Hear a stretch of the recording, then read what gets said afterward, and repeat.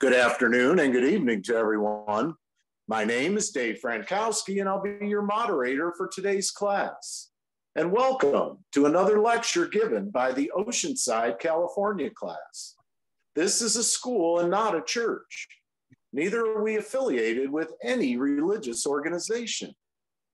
The school is a nonprofit, non denominational, religious, and scientific research organization dedicated to showing proof of the existence of Yahweh our Elohim and the operation of his eternal purpose, pattern, and plan, operating throughout eternity to this present day. This school was established as a result of a divine vision and revelation given unto our founder, Dr. Henry Clifford Kinley, in the state of Ohio in the year of 1931. We were incorporated in the state of California in the year of 1958, and we hold classes in the United States and in various other countries. The Oceanside class was established in 1994.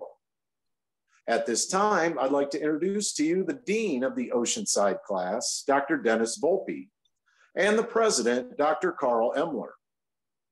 Now, in this school, we use the true, correct, and original name and title for the Father, the Word or Son, and the Holy Spirit, which are contained in the original Hebrew text.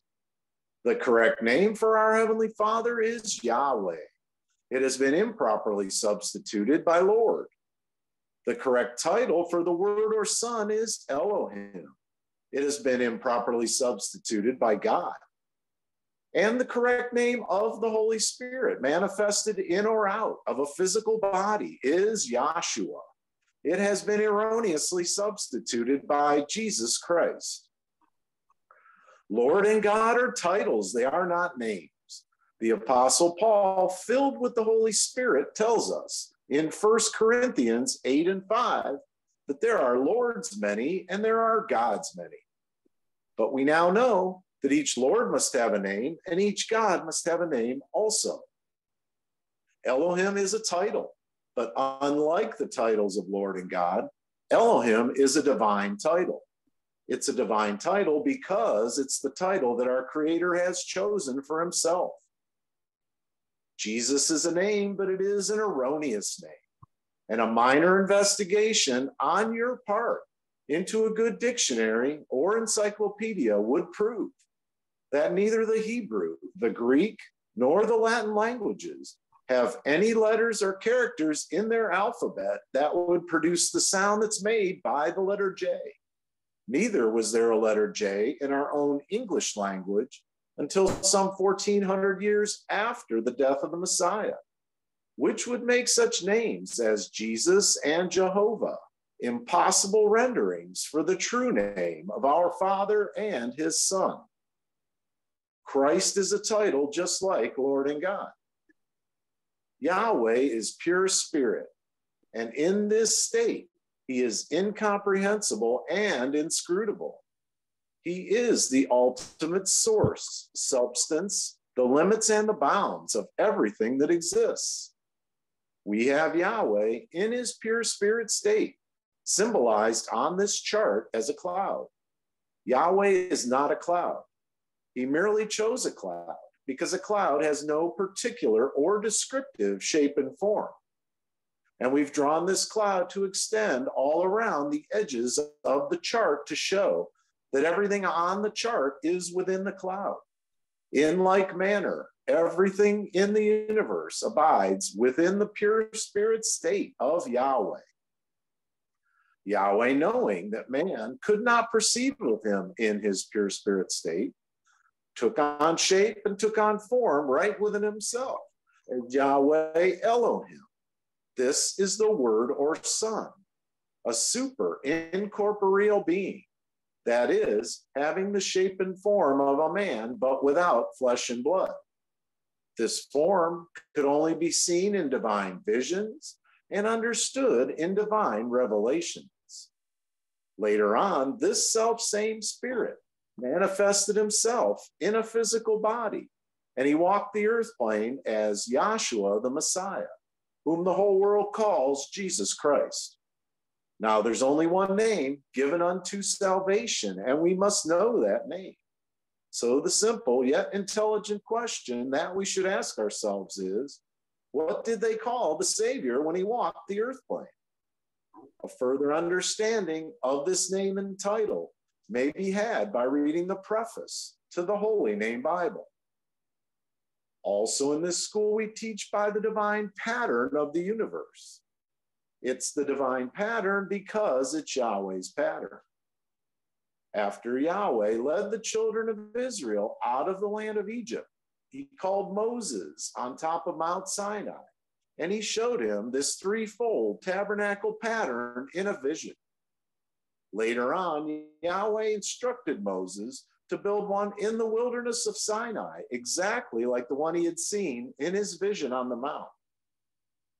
The tabernacle pattern is a threefold pattern consisting of a most holy place, a holy place, and a court round about. These three compartments make up the one tabernacle pattern. In this school, we show proof that everything in the universe is made and it operates according to the structure and the function of this threefold tabernacle pattern, and that absolutely nothing escapes the pattern. The school has 10 primary constitutional objectives and aims, and they are as follows. One, to help you find and know Yahweh our Elohim as he really is and actually exists. Two, to form a nucleus of universal brotherhood of humanity in Yahshua the Messiah without distinction of race, nationality, creed, sex, caste, or color.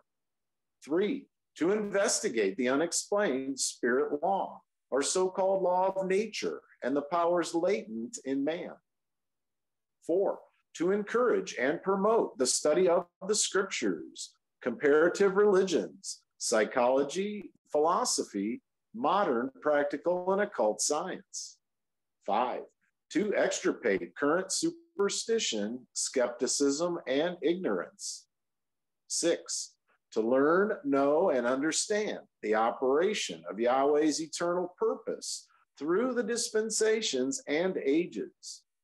Seven, to discern and avoid being deceived by Lucifer, the serpent, the devil, the dragon, or Satan and his demons, operating the mystery of iniquity on earth through the dispensations of time. Eight, to earnestly contend for the common salvation and faith, which was once delivered unto the sons or children of Yahweh. Nine, to make known that Yahweh from the beginning ordained there is no other name given among men whereby a man can be saved saving the name of Yahshua the Messiah. And 10, to inherit eternal life now in the kingdom of Yahshua the Messiah, with the hope of immortal glorification in the new earth state. Our watchword is peace, and our slogan is speak the truth. We'll begin this afternoon with a prayer by Dr. Bruce Geller from our Oceanside class. And we'll have a scripture read, which will be Second Corinthians, the sixth chapter, and that'll be read by Dr. Jerry Geller from our Oceanside class. Thank you, Dave. Good afternoon and evening to everyone. May we all bow our hearts and minds in a moment of prayer and let us first thank our Heavenly Father, Yahweh, who again has seen fit to bring us all together in the spirit of Yahshua the Messiah.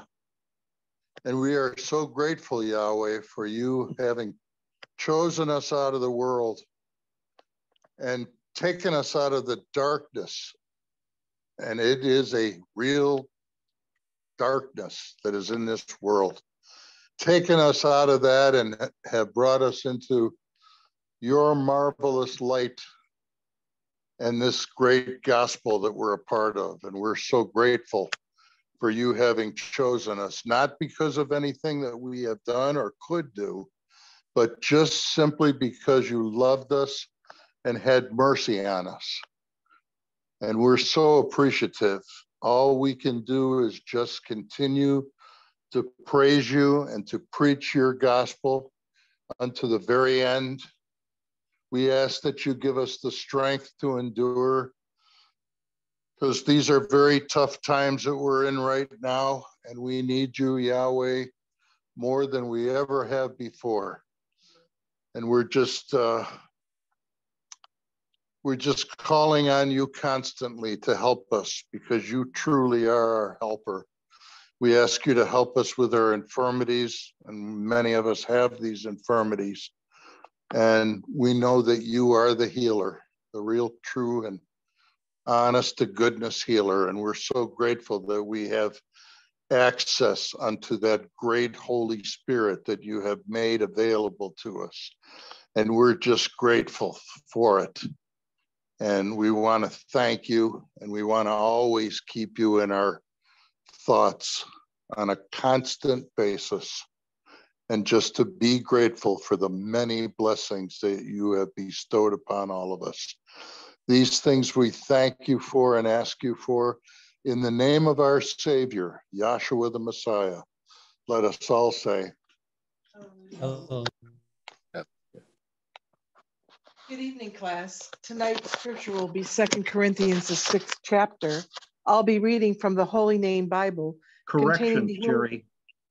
Jerry, the scripture I want, and I'm sorry I made a mistake, is the fifth chapter of Second Corinthians. All right. Then uh, the scripture lesson will be Second Corinthians, the fifth chapter. I'll be reading from the Holy Name version, the Holy Name Bible, containing the Holy Name version of the Old and New Testaments critically compared with ancient authorities and various manuscripts, revised by A.B. Traina of the Scripture Research Association Incorporated. That would be Second Corinthians, the fifth chapter. For we know that if our earthly house of this tabernacle were dissolved, we have a building of Elohim, a house not made with hands, eternal in the heavens. For in this we groan, earnestly desiring to be clothed upon with our house which is from heaven. If so be that being clothed, we shall not be found naked. For we that are in this tabernacle do groan, being burdened, not for that we would be unclothed, but clothed upon that mortality might be swallowed up of life. Now he that hath wrought us for the self same thing is Elohim, who also hath given unto us the pledge of the Spirit. Therefore, we are always confident, knowing that whilst we are at home in the body, we are absent from Yahweh. For we walk by faith, not by sight. We are confident and willing rather to be absent from the body and to be present with Yahweh. Wherefore, we labor that whether present or absent, we may be accepted by him. For we must all appear before the judgment seat of the Messiah, that everyone may receive the things done in his body according to that he hath done whether it be good or bad.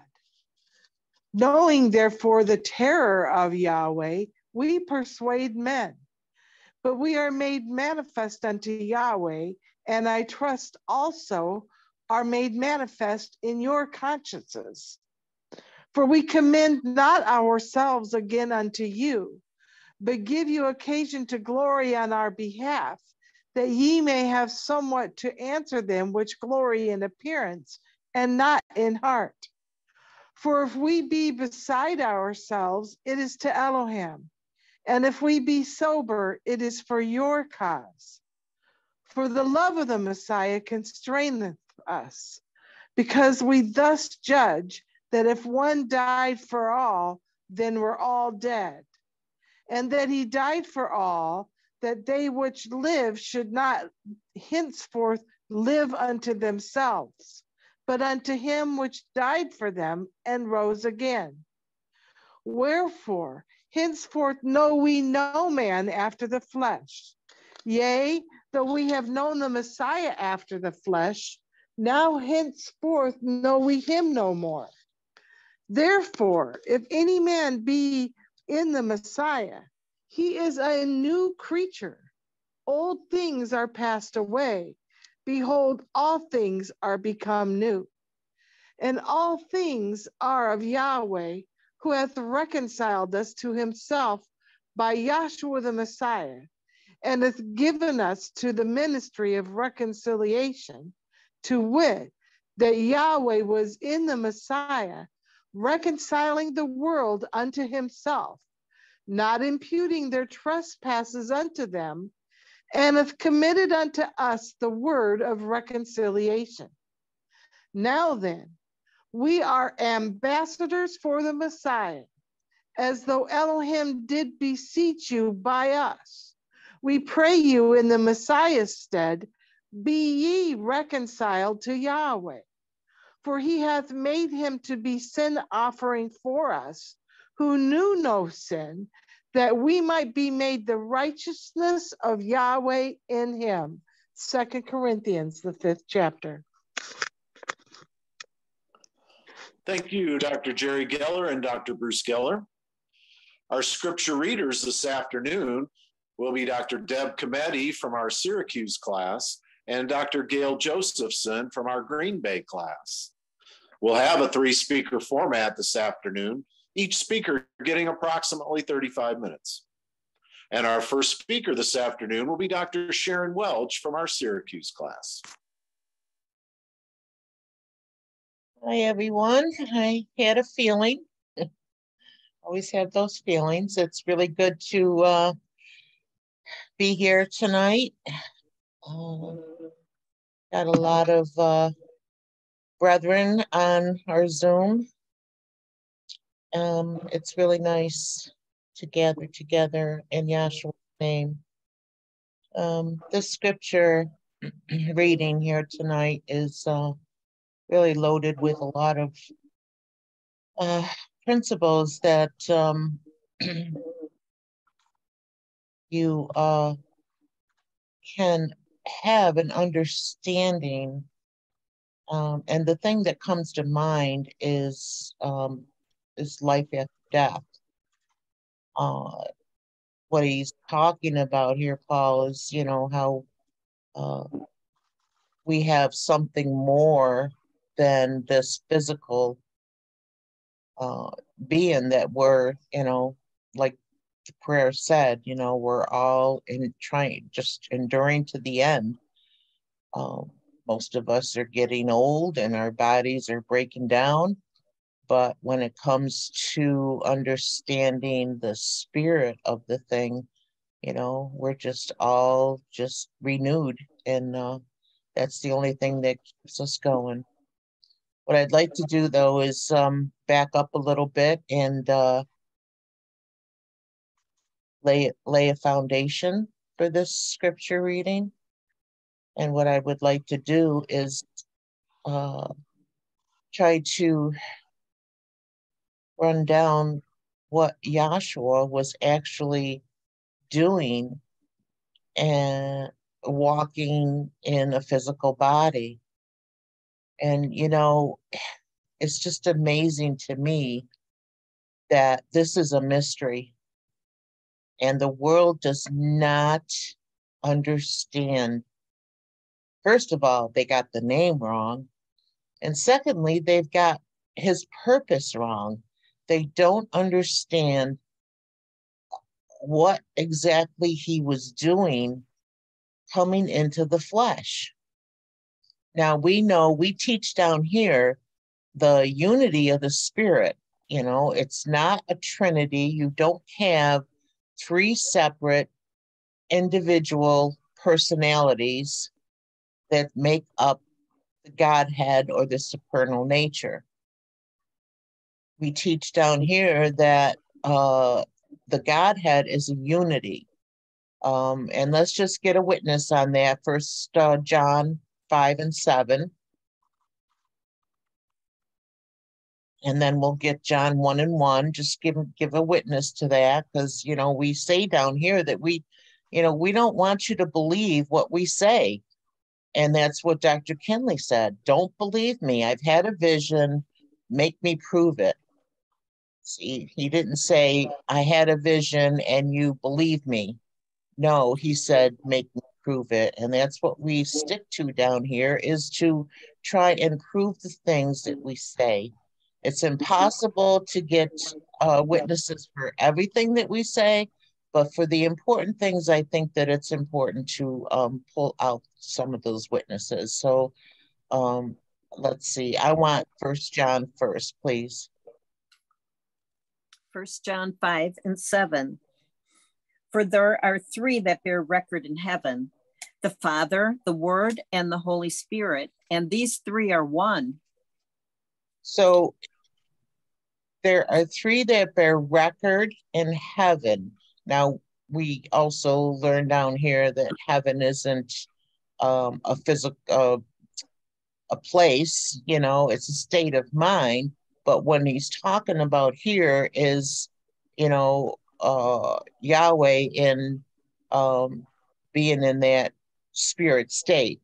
So there are three that bear record in heaven, and he says the word, right, Gail? The word, the, fa- the Father, the, the Word. Mm-hmm. The Father, the, the Word, and the Holy Spirit. So those yeah. are the three that uh, most Christianity will say that they're separate individual personalities, but that's not what the scriptures say. It says that these three are what? And these three are one. These three are one. So it's a unity.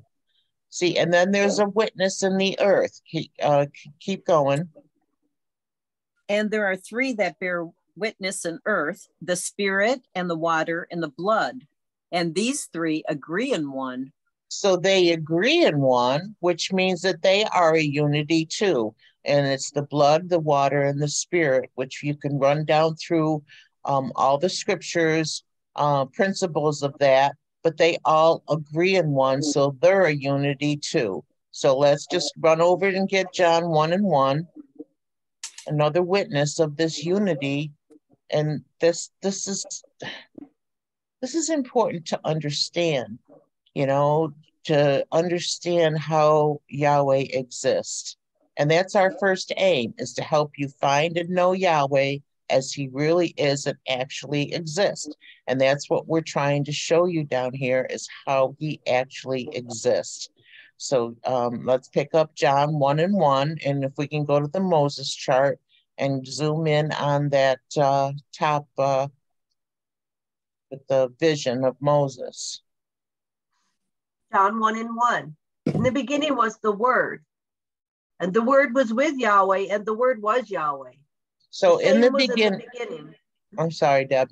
In the beginning was the Word. So in the beginning of the creation, see, was the Word. And that word you see over here that we have uh, Yah- Elohim being the word. When the moderator went through the uh, names, it says that the Elohim is a is a title, see, and it's and it is the word or son. So in the beginning was the word. And the word was with Yahweh. And the word was with Yahweh. And the word was Yahweh. And the word was Yahweh. So you see that that is the same that Elohim and Yahweh are the same. And then go down to 14 and we'll zoom down on the chart. And it says, And the word was made flesh and dwelt among us. And we so, so the word Yahweh Elohim, Yahweh, Yahweh Elohim the word was made flesh and dwelt among us and we beheld his glory. So that is Yahshua the messiah. So there you go. There is the that unity of the godhead and that is how yahweh exists. He exists in a visionary shape and form as the moderator told you and it also he also comes down into the flesh. It's the same thing. Uh there's this uh, uh, SoundCloud there that what Dr. Kinley says eh, you could you can hear him kind of like banging on the charts and saying it's Yahweh over here, and you could tell he's you know he's banging on the chart. You know that it's um, in the cloud, and he says, "And is Yahweh over here, Elohim, and that's Yahweh." And it says Yahshua. He goes, "That's Yahweh too."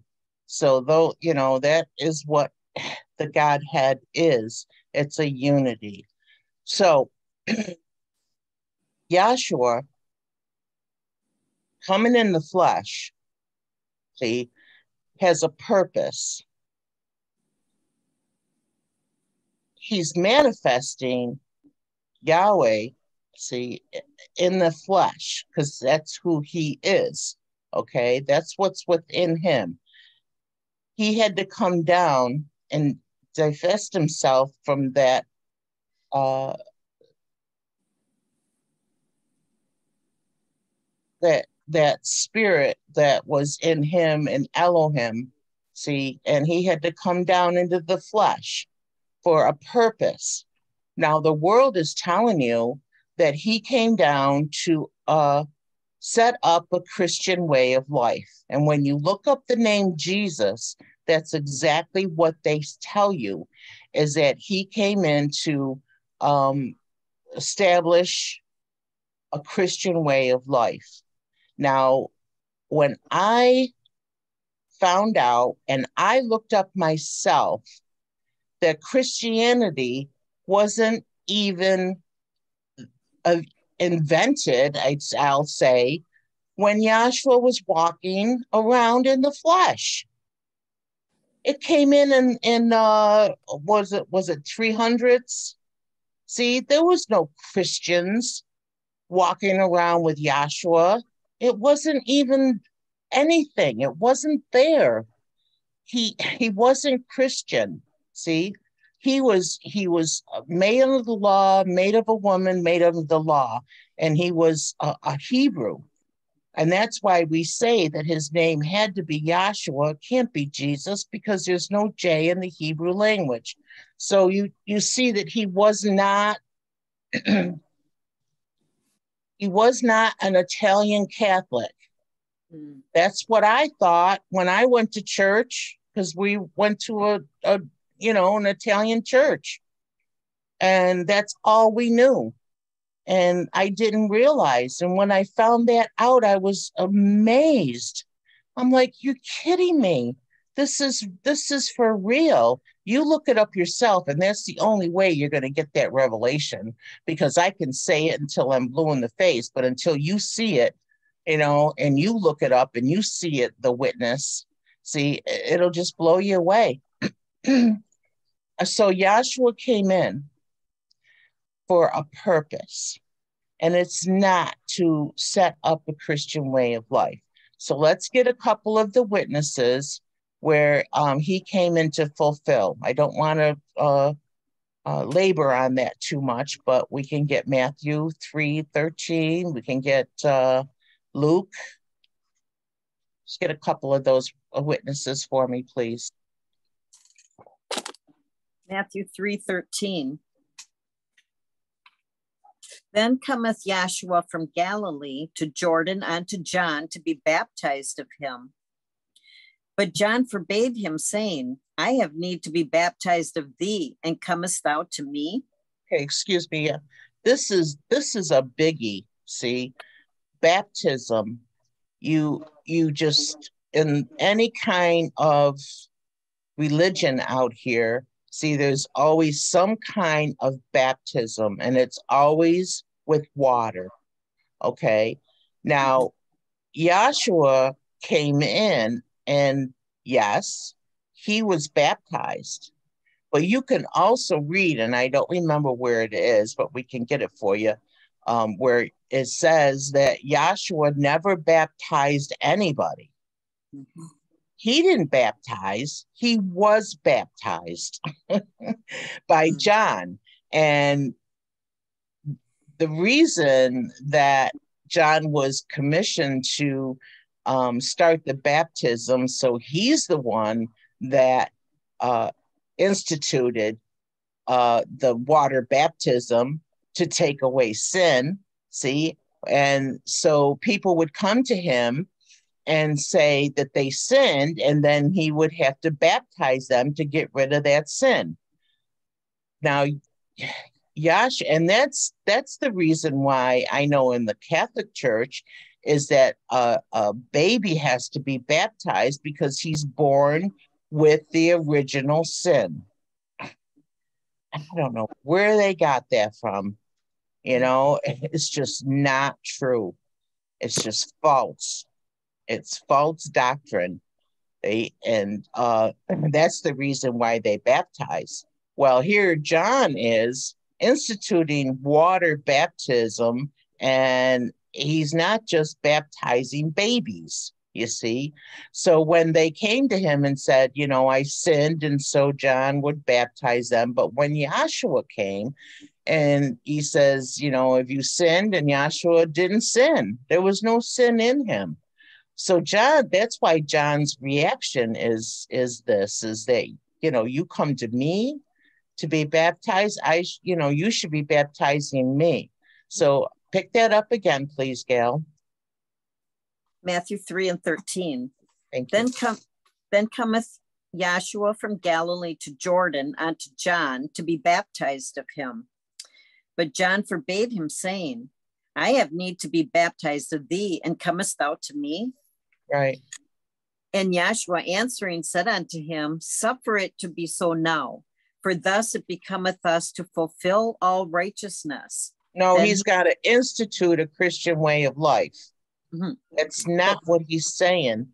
I we have to suffer to be so now for us for it becometh us to fulfill Mhm. the he's come to fulfill, not to set up, not to institute. Institute means to start, fulfill means to end. Simple. It's just so simple. And, you know, sometimes the simplicity is a gift for someone to see. It's amazing. You know, I had a I had a, a speech uh, course in college. So we had to do so, we had to do a, a presentation and I did the tabernacle pattern and how everything went by threes. And after I was done, the professor said, well, it's kind of uh, too logical. And I'm like, logical? What are you talking about? it's, it's simplicity and it's, you know, how can you not see that? But see, it's a gift to see it. I'm telling you, it's just a gift. Uh, it's a revelation from Yahshua himself. So let's go get one more in Luke. If that's where you are, or John, whichever one you're at, Deb. Yep. Um, do you just want the part about fulfill or do you want Yes. about, okay, so that would be Luke 24, 44. Thank you.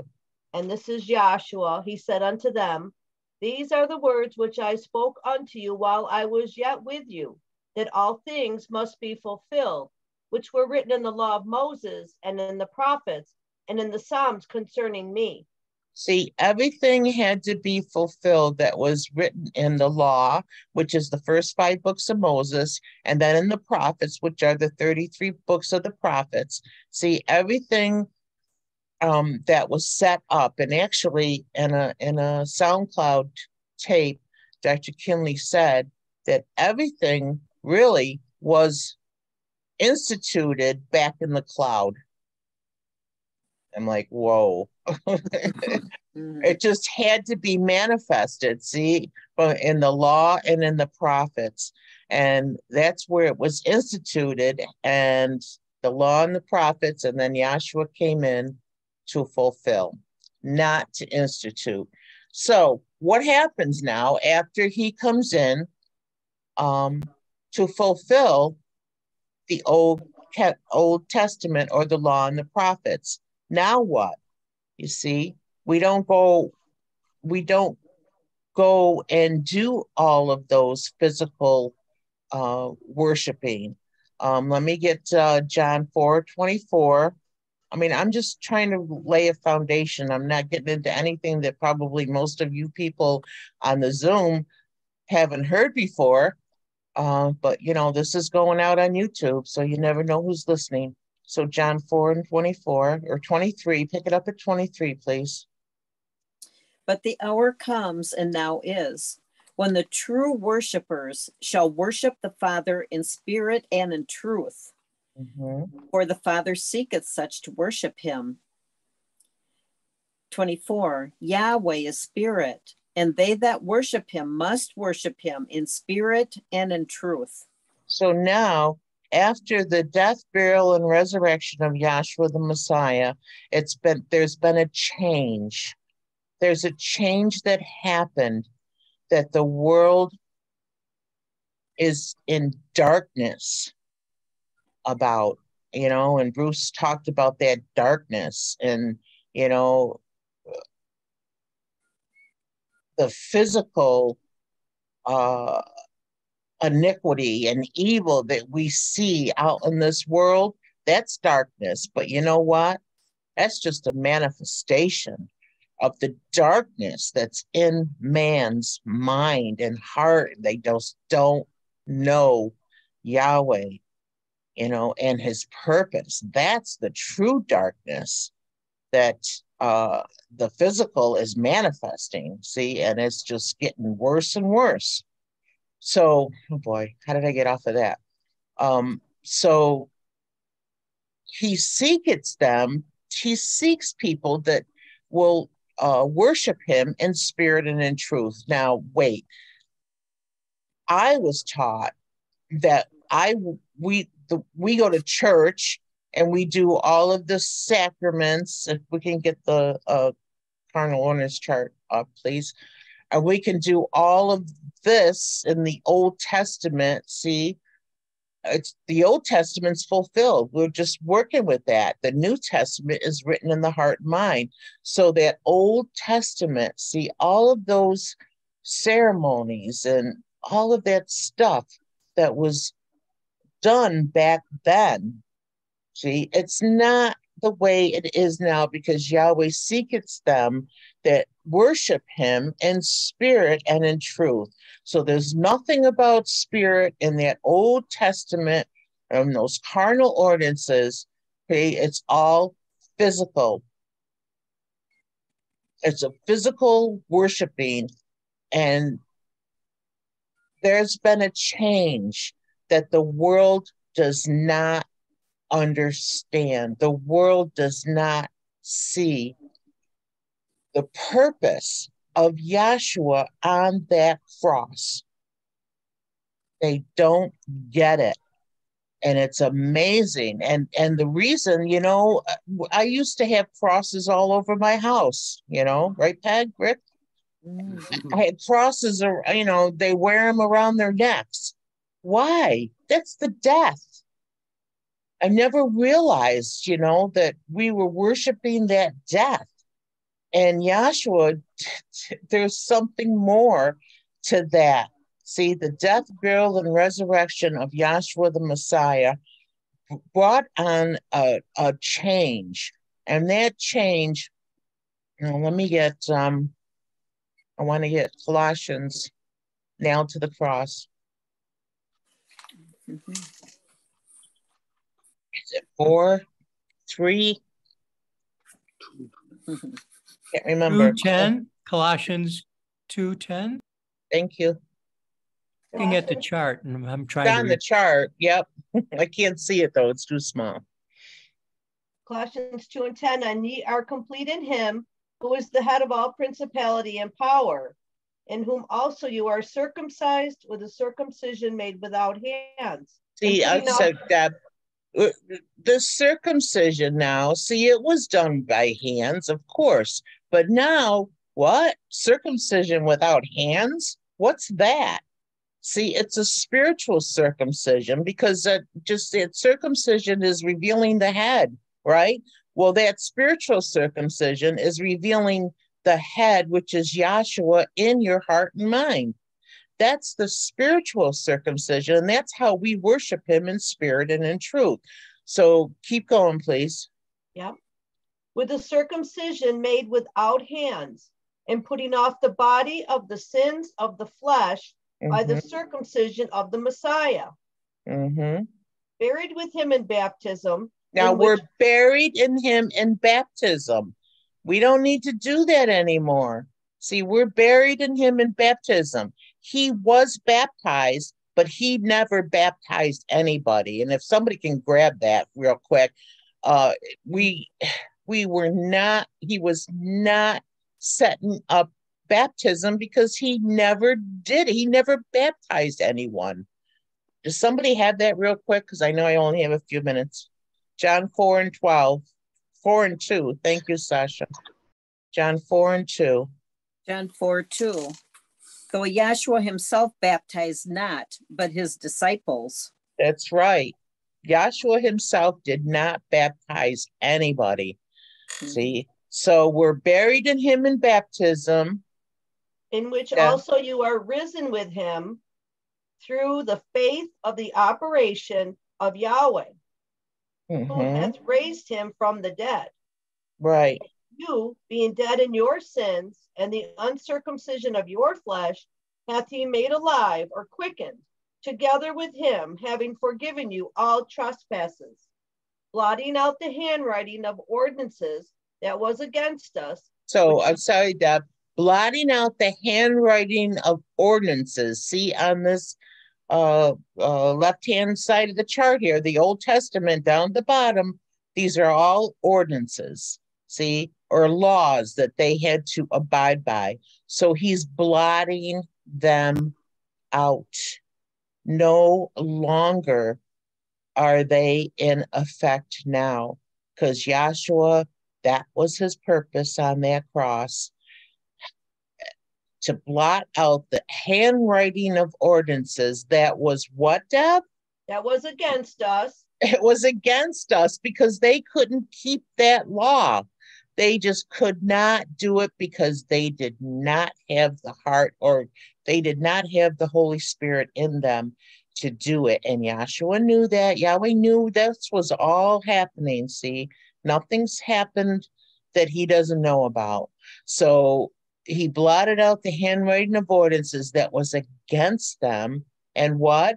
Which was contrary to us. They were contrary to us. and took it out of the way, nailing it to his cross. Now he took that Old Testament uh, out of the way and he nailed it to the cross. Now, why would he use such a, a term as nailed to the cross? Well, we know that Yahshua was nailed, his hands and his feet, right?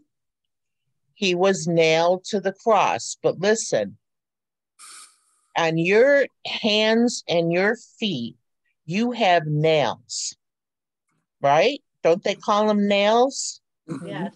And I noticed the other day when I was somehow looking at my fingernails, I don't know why, but everybody look at their fingers and you will see that at the bottom of the finger, you have a white area, which is mm-hmm. a moon like.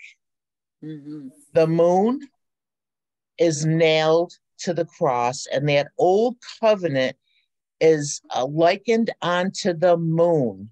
Now, mm-hmm. let's get that in uh, the, the ordinances of the moon. And where is that? Jeremiah. That, yeah, of course. That's uh, we'll end with Jeremiah 31 31. Hello. Do you want it at 31? sure. Okay. Why not? Jeremiah 31 31. Behold, the days come, saith Yahweh, that I will make a new covenant with the house of Israel and with the house of Judah. I'm going to interrupt you, Gail. Behold, the days come, excuse me, saith Yahweh. So this is in Jeremiah, which is in the prophets, and it's way before Yahshua comes into the flesh but he's saying, Behold, the days come. So it's not happening now, but it's coming down the road. See? And behold, the days come, saith Yahweh. Go ahead. And I will make a new covenant with the house of Israel and with the house of Judah. I acknowledge.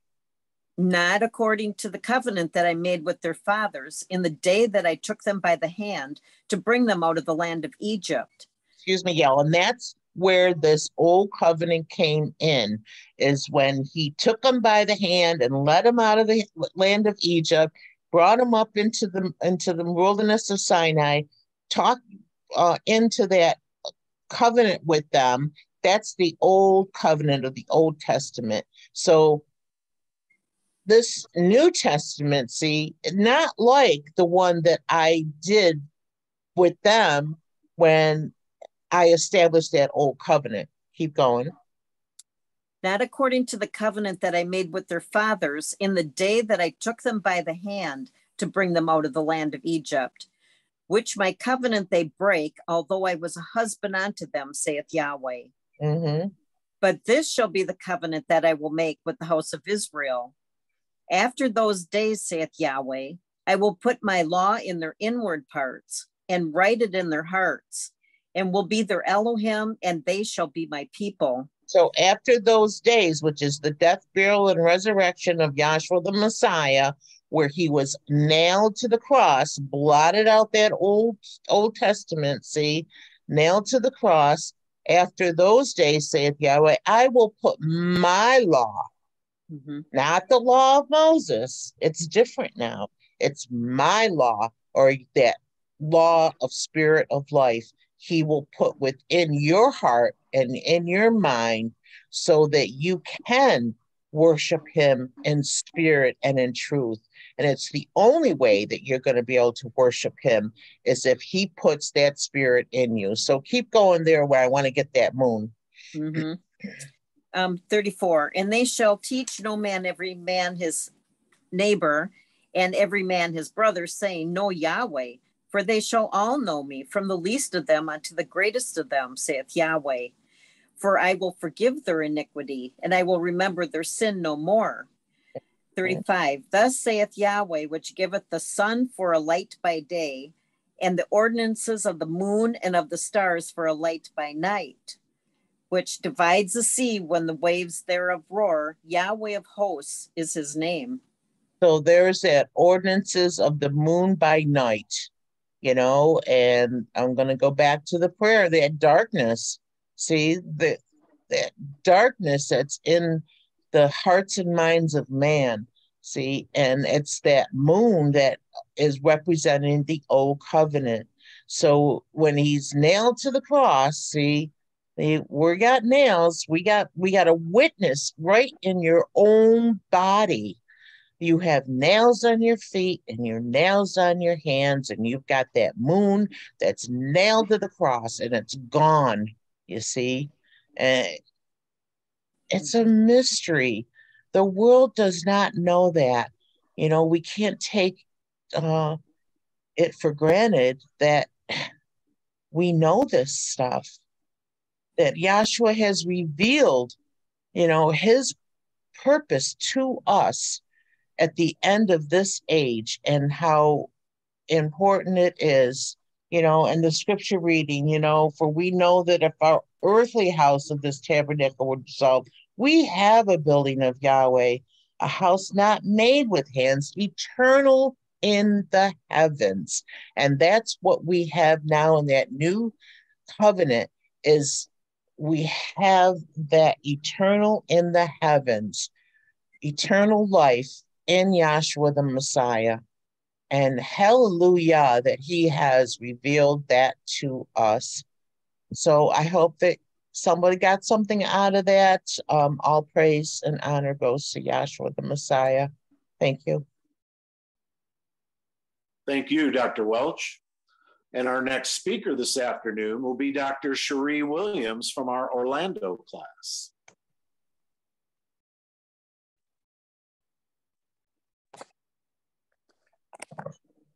Good evening, class. Can you hear me okay? Yes, we can. Okay. I thoroughly enjoyed the testimony of the previous speaker, and um, she did an excellent job laying the foundation and preaching the gospel of Yahshua the Messiah.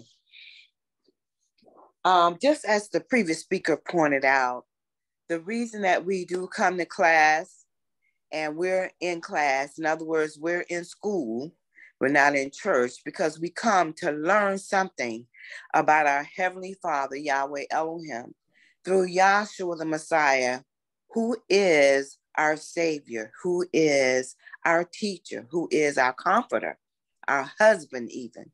Um, we come here to learn. And we wouldn't know anything about Yahweh's eternal purpose, pattern, and plan of salvation if he had not called up the founder, Dr. Henry Clifford Kinley, in the year of 1931 and instructed him to go in the world and teach uh, Yahshua's people his will. And because he was obedient to the divine vision and revelation, that's why we're blessed to be in school this evening, learning something about Yahweh's divine purpose pattern and plan of salvation. Um, let's pick up the scripture lesson, and I'm going to skip around just a little bit because of the lack of time. But if you will start uh, Second Corinthians 5, 1 through 4, and when you're done with 4, you stop there, and then we're going to skip around a little bit more, if you would, please. Thank you. Second Corinthians 5 and 1.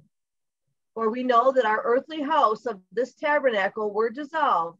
We have a building of Yahweh, a house not made with hands, eternal in the heavens. Okay, hold it right there for just a minute. Okay, so now this is the Holy Spirit speaking through the Apostle Paul, the Apostle Paul, talking about um, these tabernacles or these physical houses that we have on now being dissolved, and we having a house uh, in the heavens that by which we will reside in, and that is shortly to be uh, manifest down here. We're right at the end of this present kingdom age. Uh, just before the universal revelation of Yahshua the Messiah, where these physical bodies will be dissolved and we are going into immortality, which is the fifth age, where we will, uh, the Sabbath age, as we see on the age and dispensation chart. But um, uh, there is a process that must take place. Take place. But go ahead and, and finish it. I don't want to get ahead of myself. Go ahead. For in this we groan, earnestly desiring to be clothed upon with our house, which is from heaven. Mm-hmm. If so be that being clothed, we shall not be found naked. For we that are in this tabernacle do groan, being burdened, not that we should be unclothed, but clothed upon, that mortality might be swallowed up of life. Absolutely. So you see, immortality, that's these physical, natural bodies. These mortality or these physical bodies will be um, what was that last sentence? Read swallowed that. up of life. Swallowed up of life. And that's what's uh, going to happen at the universal revelation of Yahshua the Messiah. Okay, so now if you'll drop down, let's read uh, the sixth verse and stop at six, and then we're going to go to eight. Go ahead. Therefore, we are always confident, knowing that while we are at home in the body, we are absent from Yahweh. Absolutely. So as long as we have these physical bodies on, then we're absent from Yahweh, who is pure spirit. Okay. Verse 8 We are confident, I say, and willing rather to be absent from the body and to be present with Yahweh. Absolutely. So those of us that uh, are recipients of the Holy Spirit, right? We desire to be out of the flesh and be into pure spirit or immortality. Okay. Uh, did you finish eight? Yes. Okay. Now let's read 15. Verse 15. And that he died for all, that they who live should not henceforth live unto themselves, but unto him who died for them and rose again. Absolutely. And that's our desire is to be obedient unto Yahshua the Messiah who died for us. And we're not living this life, uh, uh, in other words, doing what we want to do. You understand? To to to please ourselves and our desires. No, our desire is to be pleasing unto Yahweh Elohim Yahshua down here at the end of this age. Okay, did you finish 15? I did. Let's go to 17. 17. Therefore, if any man be in the Messiah, he's a new creature or creature, mm-hmm. sorry. Old things are passed away. Behold, all things are become new. Okay, so if you're in the body of Yahshua the Messiah, which is being in the kingdom, you're in the kingdom of Yahshua the Messiah, then you're a new creature in Yahshua the Messiah. Okay, did you finish 19? Uh, go to 19. To wit, that Yahweh was in the Messiah, reconciling the world unto himself, not imputing their trespasses unto them, and hath committed unto us the word of reconciliation. The word of reconciliation by the preaching of the gospel of Yahshua the Messiah, and he will receive us and not holding any of our trespasses against us. You understand what I mean? You see, and receiving us in peace at the universal revelation. Now, the last verse. Did, did you want 20? 20, uh, no, 21. 21. For he hath made him who knew no sin to be sin for us, that mm-hmm. we might be made the righteousness of Yahweh in him. Absolutely, that we might be made.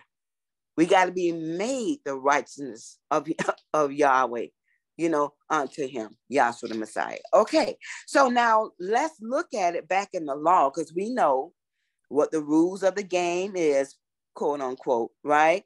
We must go to the law and to the prophets, right? We have to see Yahshua fulfilling it and see how he ushers us into the reality of the thing. So when we go back, uh, give me the Moses chart, if you would, please.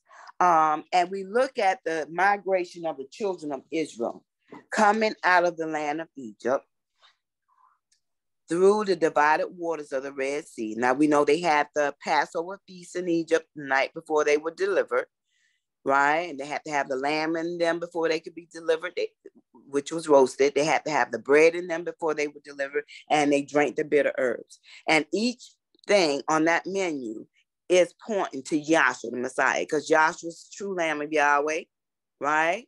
He's that bread that came down from heaven. And he said, you know, uh, prayed the prayer the night before his crucifixion unto his heavenly Father Yahweh, let this bitter cup pass from before me, but not my will, your will be done. So that death out there on that cross was not a picnic. You understand? It was not fun. It was not pleasant. That was bitter. But he did that for you and I. So uh, so that had to be in them before they could be delivered. So then they have a two-day journey to the Red Sea and one day journey through the Red Sea where they're baptized in the cloud and in the sea unto Moses, as we read in Exodus uh, 14, 21, also uh, 1 Corinthians, the 10th chapter. So when they come through the divided waters of the Red Sea, um, it's a 47 day journey to uh, Mount Sinai. And we know that this is where Yahweh spoke his law into the hearing of the children of Israel after they had washed up and cleaned up for three whole days. And then June the 6th, he speaks his law.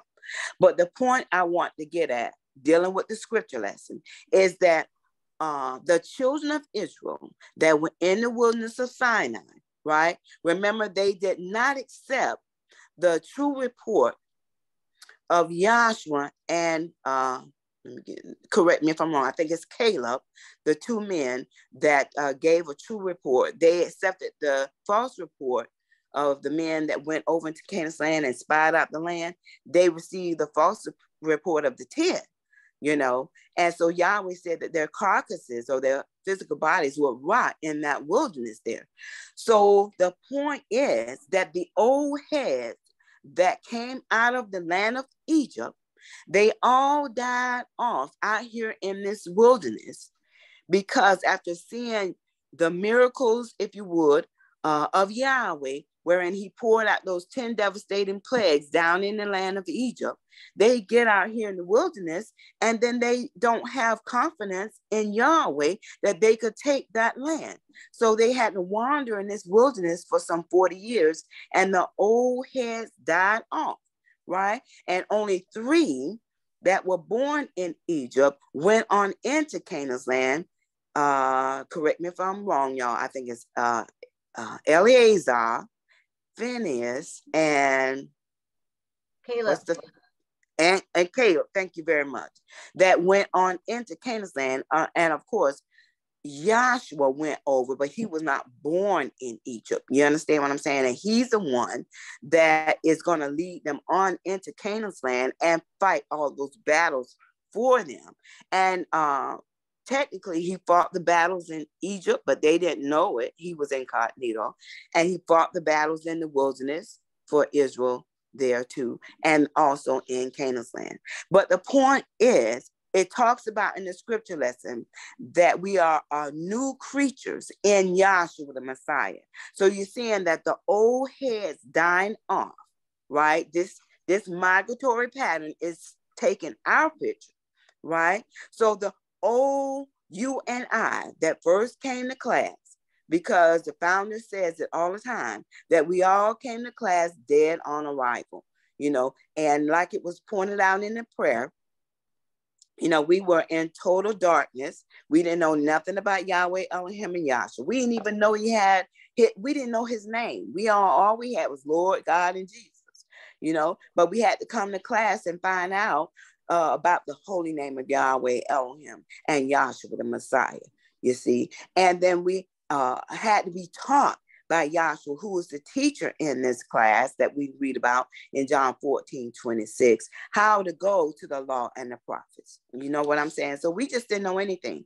Just like down here with the children of Israel, see that darkness in Egypt? They were delivered from that darkness, as he said in the prayer, you see, and we are delivered from darkness by the preaching of the gospel of Yahshua the Messiah as well. And so the old me and the old you that first came to class has to die off. You see, and we see that in a type and in a shadow back here with the children of Israel, how that all those old heads they had to die off as they wandered in this wilderness for those 40 years. That's typifying the old me and the old you has to die off you know. And so then we become new creatures in Yahshua the Messiah by the preaching of the gospel. Give me the brain chart. You see, and we're going to come back to this Moses chart. And we're seeing that the new birth goes on into Canaan's land. See? Okay, right. So you see how that says the old night, right? That's the old me. That's the old you. All of that must die off. Transgression, liar, you understand? Full of hell, full of strife, you know, condemnation, uh, full of hate and greed, uh, we're con- carnal, uh, carnal minded, which is death, you know, full of ignorance, uncircumcised, full of anger, got pride, lust, and all such. You understand? All of that stuff, you see, must die off. That's the old me, the old you, the old night. You see, it's got to be cast out. You see, and then the Holy Spirit is put therein. Now you are humble now, you're stable, you have love now, you're spiritually minded now, which is life.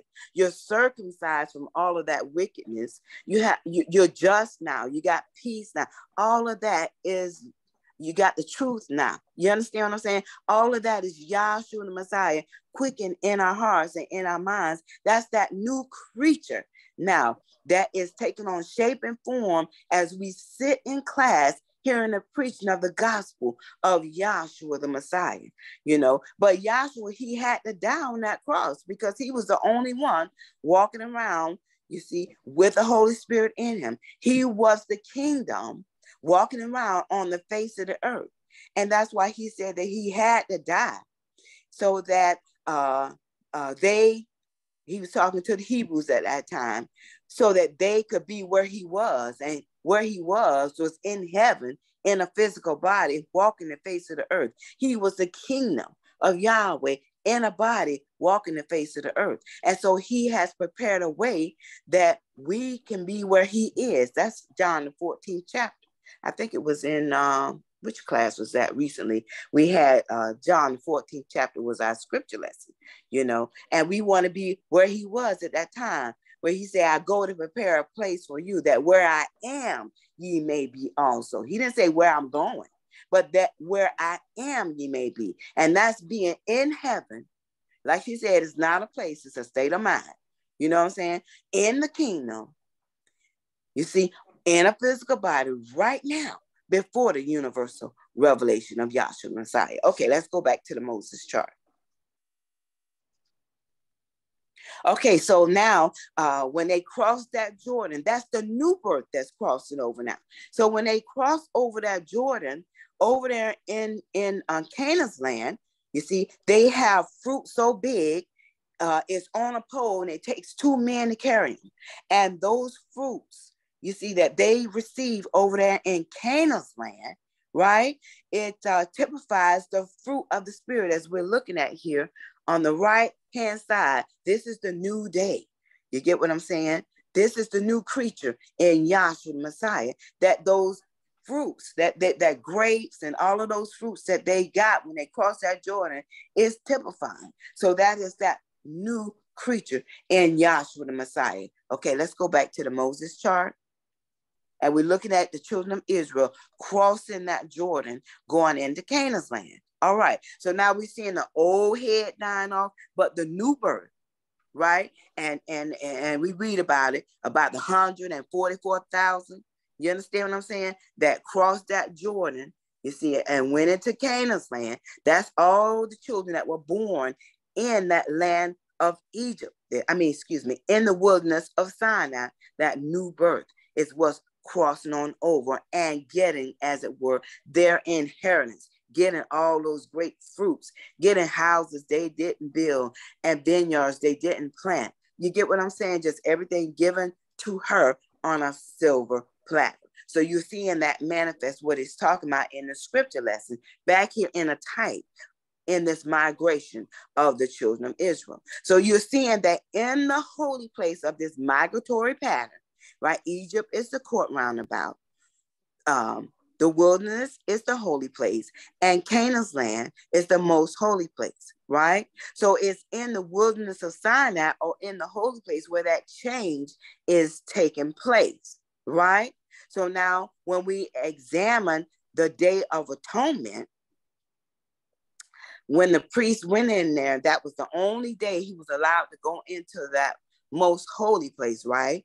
He goes into uh, the the most holy place with blood. You get sprinkling toward that mercy seat, right? And then that's the first trip. He comes all the way back out into the court roundabout after that first trip. Then when he goes back in, this is October the 10th, goes back in the second time with more blood, right?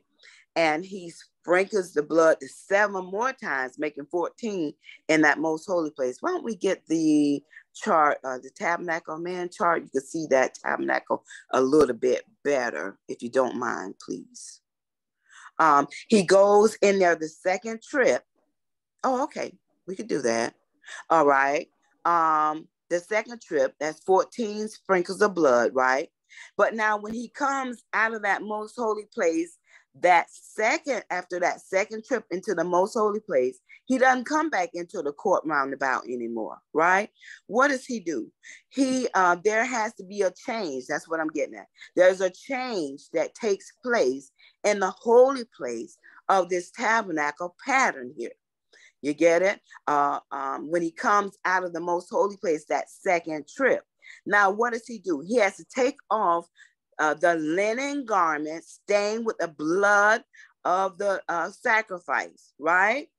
And uh, he takes that off. He takes uh, takes out of this altar of incense uh, water that's in there. He washed himself up and get rid of that blood and all of that.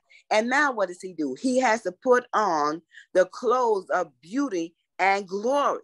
So you see how that the change is taking place in the holy place of this tabernacle, right? Just like in the holy place of the migration, you got a change taking place with the children of Israel, the old heads dying off, and the new birth is taking place in the holy place of the migratory pattern, and the new birth goes on into the most holy place, typifying, you know, receiving their inheritance or going on into immortality in a type you see. But now he has a change taking place. He puts on the clothes of beauty and glory, and he has on that breastplate uh, um, with the 12 stones in the breastplate and the names of the 12 tribes engraved on those stones. And he also has the uh, uh, on his shoulders there, the uh, what is it? The ephod. Is am I saying it right? In other words, uh, six names of, of six tribes on one shoulder and six tribes on the other shoulder. You get what I mean? And he's going on into the most holy place the third time, as it were, in a type, taking the children of Israel in with him. You understand? And sprinkling that blood seven more times, making 21 sprinkles of blood toward that mercy seat. And then he stands there and he tarries and he waits, expecting to see the Shekinah, you know, of which is a flash of light in that most holy place, you see, typifying that Yahweh had forgiven Israel for their sin for a whole for that past year. You know what I'm saying? So then what happens? He backs on out of there. You see, after that third trip, and he gets that Shekinah. Now it's got to be a change in the holy place again. What does he do? He has to take off the clothes of beauty and glory, put them back in that altar of incense, put back on the linen garments, before he can come back down into the court roundabout. He can never come bring come out into uh, the court roundabout with those clothes of beauty and glory. So the principle is in the holy place, you see, there is a change that must take place. So that's why you you see uh, how that when they did go into the most holy place, you could back up now and cross that Jordan there's a change that takes place there. Because remember, uh, the tabernacle stood on Mount Zion for it was in the wilderness for 40 years, right? Then it was on Mount Zion for another 450 years, making a total of 490 years. Now, the last 10 years from 480 to 490, you got Solomon building this temple, right? and he's making more vessels. So what's happening is the vessels that are in this tabernacle are being, as it were, dissolved into the temple, along with the other vessels that he's building and that is in this temple. So this tabernacle typified uh, the sacrificial body of Yahshua the Messiah, or that special prepared body, right? and the temple typifies his spiritual body. You see, so you're seeing that the vessels in the tabernacle are being dissolved into the temple along with the other vessels that are being built. So, in other words, in the tabernacle pattern, you got one candlestick, but in the temple, you got 10. In the tabernacle, you got one table of showbread, but in the temple, you got 10. You follow me? And the uh, um, in the tabernacle, there's one altar of incense where there's a prayer offered up unto Yahweh daily there. And in the temple is still that self same one uh, altar of incense in that temple because Yahshua is the only intercessor between us and Yahweh. So they can't make multiple uh, altars of incense, only one. Okay. All right. Then you have like uh, you got that that one uh, laver there in the tabernacle. They had several in the temple. You got the big bath, and you got other smaller baths and everything. When you do your research on that that temple, and uh, you got that uh, the altar of of ins. I mean the altar of uh, of sacrifice that's in there, and they got several as well. And then when you go on on into the most holy place of this uh, temple here, then you got those big angels, you see, that are hovering over that Ark of the Covenant, because you still only have that one Ark of the Covenant there with, you know, Gabriel and Michael. Let's get that bigger. Let's go to the tabernacle uh, man chart. I'm still trying to get you to see that. Uh, yes, thank you very much. So you see that altar, uh, I mean, the, the Ark of the Covenant, which you got the two archangels representing Gabriel and Michael, right? Now, in that temple, uh, there are two huge angels, and their wings are spanning across, right? And, and they're hovering over the Ark of the Covenant, right? And the wings are, are touched together in the middle, and one wing touched the right side of the temple, and then the other one on the other side, his wings touching the other side of the temple, and the wings are, are meeting in the, in the middle there. So you got the great angels in there, and the, all the angels on the um, veils and whatnot in the temple. It's on a greater a greater scale and it's just glorious. And the walls of the temple, they are paved with gold uh, inside and out, so much so that when the noonday sun shone or shine on that temple there, it said that it, it blinded everything all around it because it's typifying the spiritual body of Yahshua the Messiah. And remember in the prayer, was talking about he has put us in his marvelous light and it's manifest with that temple there in the uh, in the most holy place of the migratory pattern.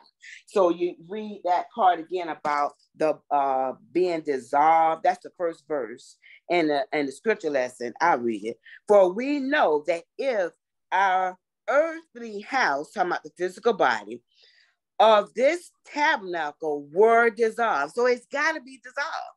And you're seeing it manifest with this tabernacle, the vessels being dissolved, as it were, out of the tabernacle and dissolved into that temple. That's what's happening.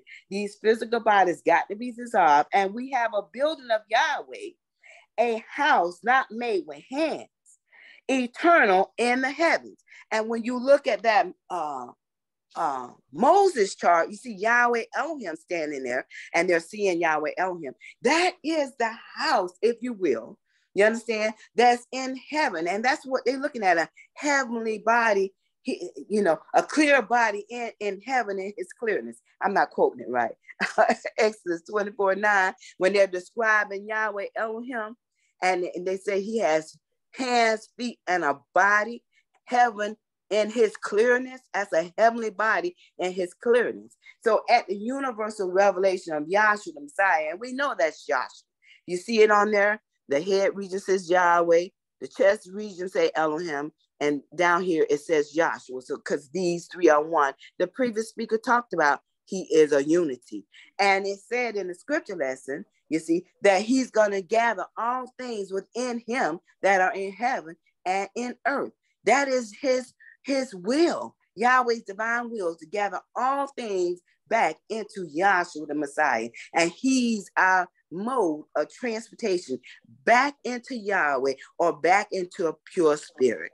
You know what I'm saying? You, see? So let's get um second Thessalonians. I believe it's uh one and seven. And then Colossians uh 1, 12, 13, and 26, and I'm done. I, ho- I hope you were able to follow me because this is a beautiful principle uh, that's in the scripture lesson, manifest in this migratory pattern. And it's also manifest with the dissolving of the tabernacle into the temple. That's uh, uh, that's in the the pro- in the prophecy. So you see the migration of children of Israel, that's in the law, and then dealing with the temple, that's in the prophecy. So we're trying to be obedient to the teacher, Yahshua Messiah, by going to the law and the prophecy with this principle of being dissolved into the temple or into a heavenly body. Okay, go ahead. Second Thessalonians 1 and 7. Mm-hmm. And to you who are troubled, rest with us. Yes when Yahshua the Messiah shall be revealed from heaven with his mighty angels. Okay, hold it right there. So when Yahshua the Messiah shall be revealed from heaven with his mighty angels. See, now, ever since we've been in class, Yahshua has been revealing himself to us by knowledge and understanding by way of this great divine vision and revelation given to Dr. Kinley in 1931. But at his universal revelation, right? Then he's going to be revealed universally to the entire world. And that those of us, yeah, okay, I, I see the five minutes. Thank you very much. Uh, that have uh, been obedient to Yahshua and have been uh, uh, given the Holy Spirit, you know, like he said in the prayer, uh, snatched out of the clutches, if you would, of Satan, which is that true darkness. You understand? He has delivered us from that darkness and put us in his marvelous light right now today by the preaching of the gospel. You get what I'm saying? You see? So now we will be those recipients of the Holy Spirit at his universal revelation will be those fired up angels that appear with him at his universal revelation, and our bodies will be like his. You see, so okay, read that again. Second Thessalonians 1 and 7. Mm-hmm. And to you who are troubled, rest with us when yes. Yahshua the Messiah shall be revealed from heaven with his mighty angels. With his mighty angels. Hallelujah. That's the brethren. You understand? Full of the Holy Spirit. Go ahead in flaming fire, taking vengeance on them that know not Yahweh. In flaming fire, because Yahweh our Elohim is what? A consuming fire. In flaming fire, taking vengeance on them that know not Yahweh. That's why to know him is eternal life. And what? And that obey not the gospel of our Savior, Yahshua the Messiah. And that obey not the gospel of our Savior, Yahshua the Messiah. That's why we're going to preach the gospel of Yahshua the Messiah till our last breath. We're going to be obedient to Yahweh's righteousness, which is in Yahshua the Messiah, who obey not the gospel of our Savior, Yahshua the Messiah. Read on. Nine, who shall be punished with everlasting destruction from the presence of Yahweh and from the glory of his power. And they're going to be punished, everlasting mm-hmm. punishment. You understand? That's like being in a nightmare. You understand what I mean? Mm-hmm. With no end. You follow me? I don't want me none of that. So I want to be obedient to the righteousness of Yahweh and Yahshua the Messiah. Let's go to Colossians and I'm done. Colossians 1, 12 and 13, and then 26 thanks unto the Father who hath made us meet to be partakers of the inheritance of the sons in light. Yes. Who hath delivered us from the power of darkness mm-hmm. and hath translated us into the kingdom of his dear Son. Yes, he has delivered us from the power of darkness and has translated us and to the kingdom of his dear son, Yahshua the Messiah. And I heard Dr. Kinley recently say this on SoundCloud. He said, look, in the antediluvian age, you had Enoch, which was translated without seeing death. In the post-diluvian age, you had Elijah, which was translated without seeing death. And he said, in this present kingdom age, you see, he has translated us into the kingdom without seeing death. And isn't that just wonderful? It's so exciting, you know, that that's what Yahshua has done for us in this school. Give me 26 and I'm done. Did you finish it? I'm sorry. Did yes, you finish? Even the even the mystery which hath been hidden from ages and from generations, but now is made manifest to his sons, to whom Yahweh would make known what is the riches of the glory of this mystery among the Gentiles, which is Yahshua in you, the hope of glory Yahshua the Messiah in us, our only hope of glory. All praises and honor go to Yahweh our Elohim through Yahshua the Messiah, our Savior. Hallelujah. Thank you, Dr. Williams. And I will defer back to the Dean, Dr. Dennis Volpe, for our third speaker announcement.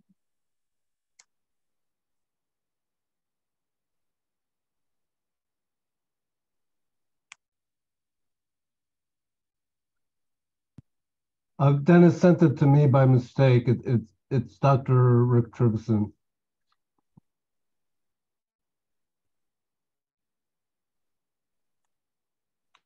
Can you repeat that? Rick Trivison. Uh, hi everybody. Hi. Am I the speaker? Yes. I believe so, Dr. Trivison, yes. Okay. Uh, well, there's been a lot of uh, information brought out thus far. And uh, I'm going to, I think, key in on one aspect of it. Uh, you know, our class used to be a very big class. And um,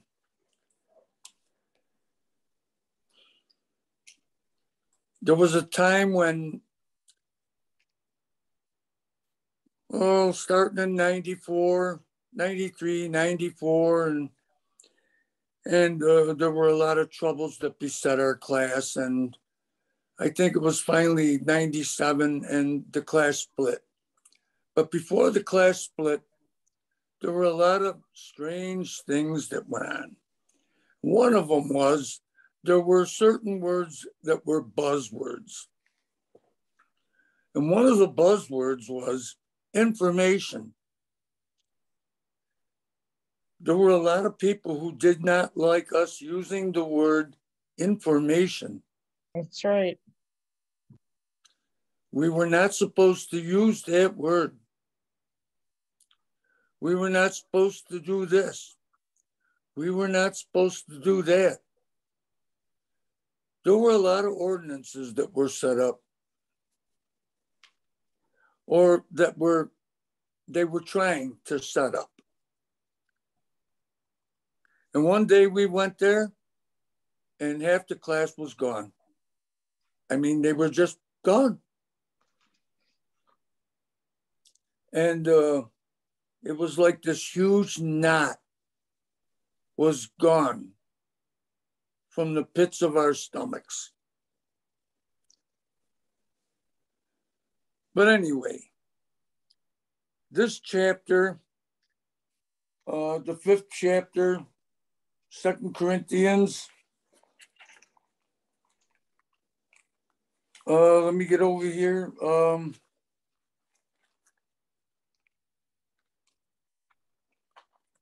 it, it has some very interesting things in it. And uh,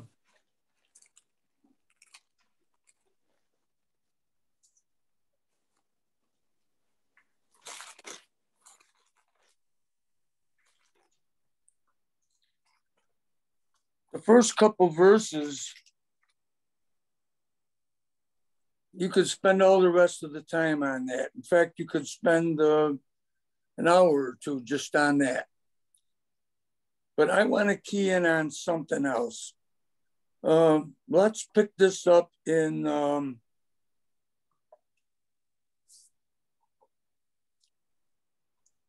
I want to pick up four. Uh,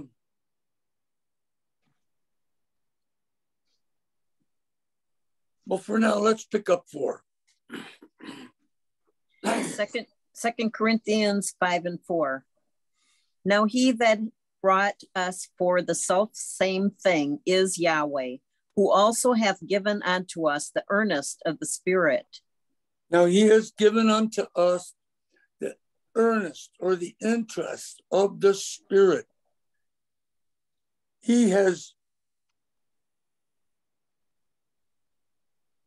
brought for us these self same things, which it has talked about in the prior verses, uh, and has also given unto us the earnest of the Spirit. He has given unto us that Spirit, which has taken us out of that darkness as your speakers talked about, as your prayer talked about, taking us out of that darkness and into his marvelous light. Now, I would like to pick up uh,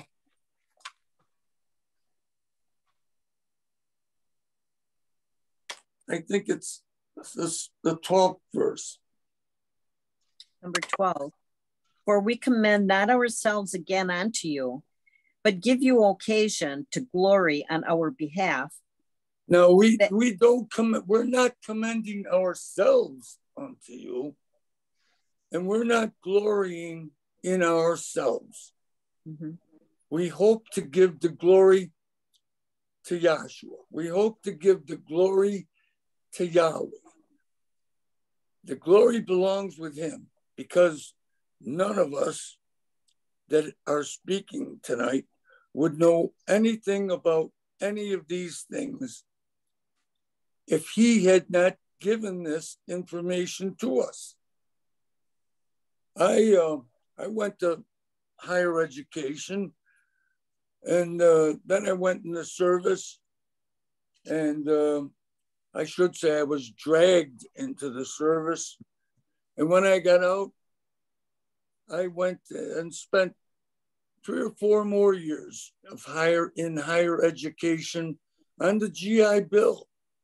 So I had a lot of a lot of higher education and never learned any of these kinds of things. They never told me anything about Yahweh. They never told me anything about the interest of the Spirit, about the earnest of the Spirit. They never told me anything about a tabernacle. They never told me anything about even the name of my creator. All those years of college, all those years. And I took courses in philosophy too, studied the ancient Greeks, studied all the modern philosophies, and studied uh, Plato and Aristotle and all of them, and never, never once even heard the name Yahweh. Never heard any of that kind of stuff. I didn't hear anything about any of this stuff until I came down to a class. So the answers aren't out there. Not as far as I'm concerned. You have to get the answers from the Creator Himself. Only He is going to give you these answers. Keep reading in that verse uh, for me, Gail, please, if you would. And 12. For we commend not ourselves again unto you, but give you occasion to glory on our behalf, that you may have somewhat to answer them which glory in appearance and not in heart. That you, that you, you see, this isn't about the appearance. This is about the heart. And your second speaker there talked about how in the in the uh, in the holy place of the pattern, there was always a change. There was always a change. In every one of the events that you read about, there was a change. For instance, we're looking at the migratory trek here. And when Israel came up out of Egypt and they were standing there at the Red Sea, and Pharaoh was behind them, They said to Moses, Did you bring us up here to die? And they were they they cried and they complained and they murmured. And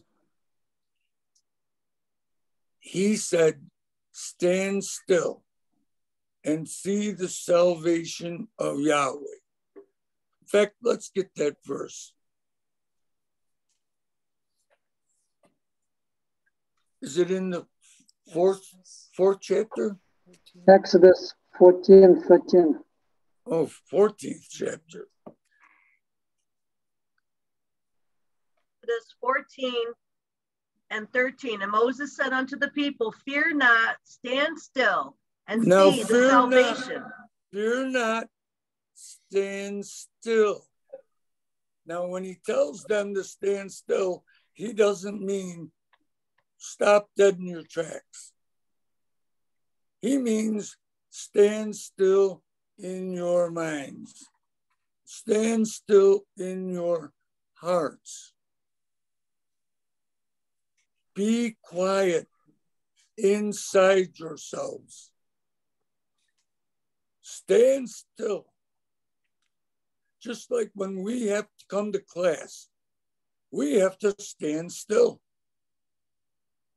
we can't all be talking and saying, yeah, but what about what about this and what about that and debating and all talking at the same time.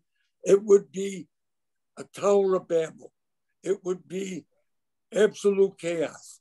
We have to sit there and be quiet and listen to the Holy Spirit instruct us from the floor. That's how the founder, that's how Yahshua, in his infinite wisdom, set it up. We have to stand still. Is that what it said, Deb? Yes, fear not, stand still and see the salvation of Yahweh, which he will show to you today. Which he will show to you today. And then we all understand that Israel went, the, the waters were parted, Israel went through, and then when Pharaoh tried to follow them with 600 soldiers, 600 horses, and 600 chariots, or 666, that the waters closed upon them and they were drowned in the Red Sea. So when they were on one side of the Red Sea, they were crying and they were scared and they were frightened. When they got on the other side of the Red Sea, they did a, a dance and a song of victory. And you can read about it in the 14th and 15th chapters of Exodus. They danced and they sang. So there was a change that took place in their hearts. They were happy. They were glad. They had been scared and frightened, and now they were overjoyed. Do you see there was a change that took place? And it's looked like when you look at the uh, the elementary chart,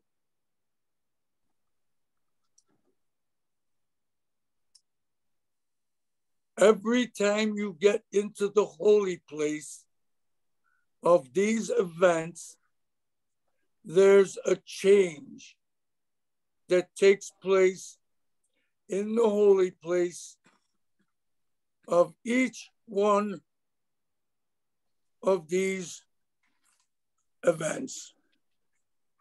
I don't want to call them stories because they were actual events. They actually occurred. They weren't myths, they weren't tales, they were actual events. These things happen.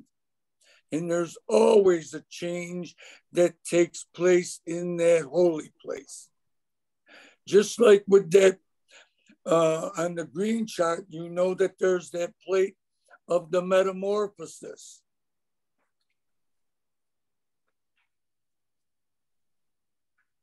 And you have the larva goes into that chrysalis Okay, and this is the holy place now of the pattern. And inside the chrysalis, momentous changes take place. Momentous changes take place. And it went in as a larva and it comes out as a gorgeous butterfly. So that's quite a change that takes place. That's what metamorphosis means. It's no longer the same creature. It no longer eats the same foods. It no longer hangs around with the, with the same creatures. It's airbound. It's not bound to the ground. It's a heavenly creature. It's not an earthly creature. Everything about it is different. A change had taken place in the burial or in the holy place. And your second speaker was keying in on that. Same thing takes takes place with your seasons. You have the the fall. There's a there's a death in the autumn of the year. And then in the winter, which we're in now, we get buried in snow. Now, this winter, it's been cold, it's been tough, but we haven't had the snow we ordinarily get. But it's far from over. Anyway, ordinarily we get buried with snow, buried with snow. And then you have on the right side of that tree, you have the springtime. And you have a change that took place. And if you don't have that burial, if we don't get that snow in the winter, if we don't go through that burial, we don't get that beautiful greenery we have here in the summertime. And it's not fun going through droughts. There's always a change that takes place in that holy place. And that's what it's talking about here. That we want we glory not in appearance. We glory not in appearance, but in the heart. And I just want to talk for a few minutes about the heart. Let's go to Deuteronomy 529.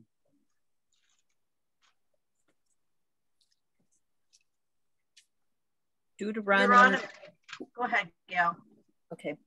5 and 29. Oh, that there was such a heart in them. Who that is they this would- speaking, Gail? Um, Yahshua or Yahweh to the people. This is Yahweh Elohim. Okay. Mhm. Oh, that there was such a heart in them that they would fear me and keep all my commandments always.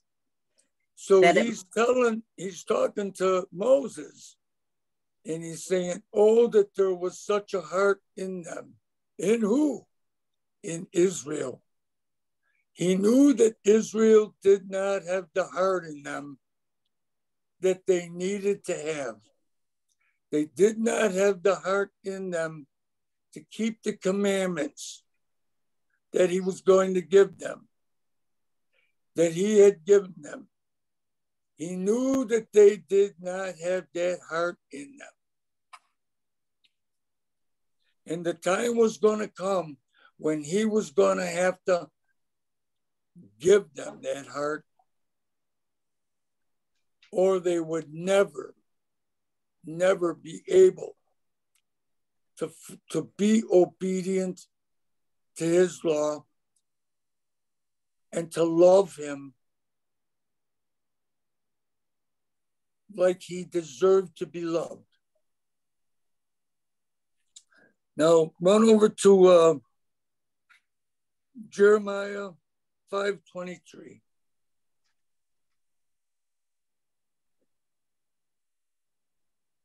Jeremiah 5 and 23. But this people hath a revolting and a rebellious heart. Now, this people, this is Yahweh Elohim, uh, right, Deb? Yep. Okay. This people have what, Deb? Has a revolting and a rebellious heart. This people, who are the people he's talking about? Israel. This Israel. He's not talking about Edom here. He's not talking about Moab. He's not talking about the Babylonians. He's talking about Israel. This people have a revolting. Read it again. But this people hath a revolting and a rebellious heart. They are revolted and gone. They are revolted and gone. They have a rebellious heart. Jeremiah 9:26.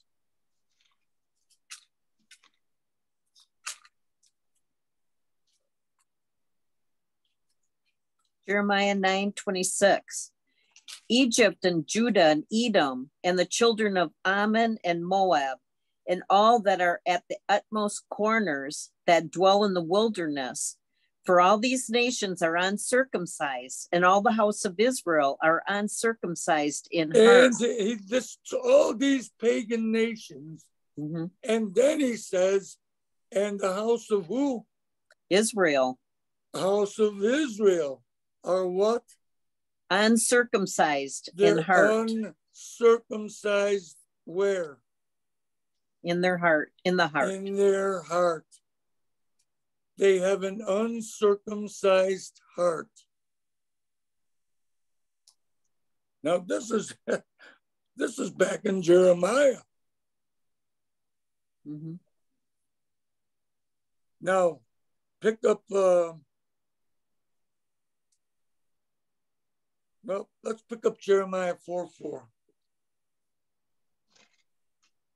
Jeremiah 4 and 4. Circumcise yourselves to Yahweh and take away the foreskins of your heart, ye men of Judah and inhabitants of Jerusalem. Read Lest that again, Deb. Circumcise yourselves to Yahweh and take away the foreskins of your heart. Now he's talking to who, Deb? Jerusalem. Talking to men of Israel. Jerusalem and of Judah. Yes, to Jerusalem and Judah, and he's saying, circumcise the foreskin of your heart.